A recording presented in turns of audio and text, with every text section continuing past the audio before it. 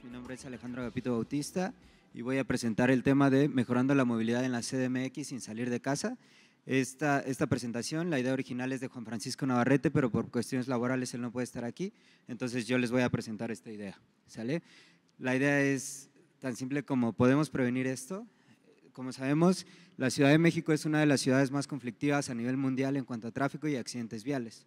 ¿sale? Entonces, nuestro desafío es mejorar la calidad de vida de las personas a través de hacer mejoras a la movilidad utilizando datos abiertos para identificar y proponer medidas para eh, disminuir la cantidad de accidentes viales y de infracciones. ¿okay? Ese es el primer lugar.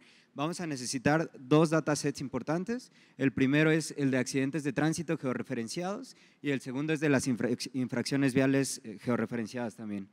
Por cada uno de estos vamos a requerir la ubicación, el motivo y la hora de estas infracciones y con estos datos vamos a tener dos salidas importantes. La primera es identificar vialidades conflictivas y las causas de, estos conflictos para proponer eh, medidas para su prevención. Y la segunda es medir los efectos que tiene el nuevo reglamento de tránsito en cuanto a eh, la disminución de los accidentes viales. La idea al principio era reducir límites de velocidad para reducir la cantidad de accidentes. Entonces, si tenemos más multas, pero no tenemos menos accidentes, significa que algo estamos haciendo mal.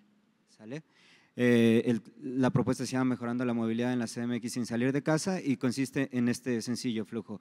Lo primero que vamos a hacer es que vamos a tomar los datos georreferenciados que, que, que nos provean y los vamos a plasmar en un mapa. Una vez que ya tenemos los datos en un mapa, lo que vamos a hacer es que vamos a ir a las regiones donde se empiezan a acumular los puntos los, lugares en los que vemos que se encuentran más accidentes. Por ejemplo, si tenemos una glorieta donde hay muchos choques, por ejemplo, esos son los lugares que nos van a interesar. No nos va a interesar tanto los accidentes aislados porque esos pueden ser por otros motivos.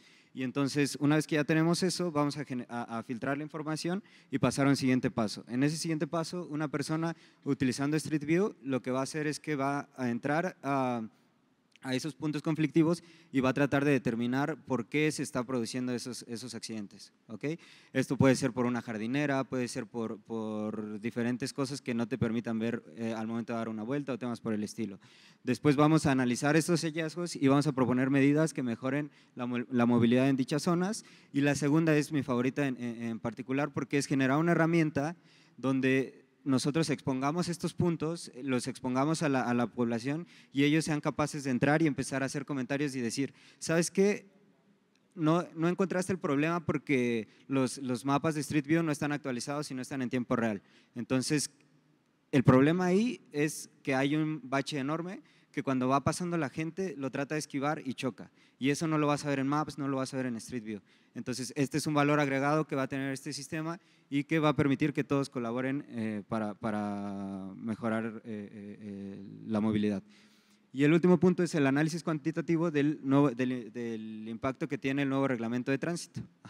Queremos determinar si realmente, como lo comentaba anteriormente, se redujeron la cantidad de accidentes con la cantidad de multas. ¿Sale? Para, eh, las ventajas que vamos a tener es que esto tiene un bajo costo, solo se requiere la inversión del, desarrollo, bases de datos y temas por el estilo. La visualización va a ser muy fácil porque la mayoría de las personas sabe acceder a Google Maps, sabe moverse en este tipo de herramientas, entonces eso va a ser muy sencillo. todas las personas pueden participar y vamos a evaluar realmente si las medidas que estamos teniendo nos están ayudando.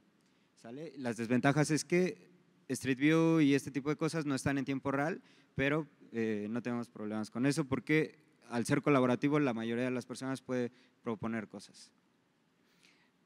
Eh, esto nos va a ayudar tanto a los ciudadanos para conocer mejor nuestras viviendas como al gobierno para conocer si realmente las políticas que están eh, creando están ayudando a los ciudadanos. Este es un ejemplo a grandes rasgos.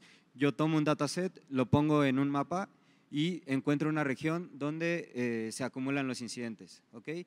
De ahí me voy a, Street View y analizo si eh, ese cruce, en ese cruce no se puede ver bien al momento de dar la vuelta y eso es lo que está provocando los accidentes. ¿okay? El objetivo es lograr una mejor calidad de vida para todos nosotros y para que nos podamos mover, mover más felices y estar mejor. Muchas gracias, esto es todo por mi parte.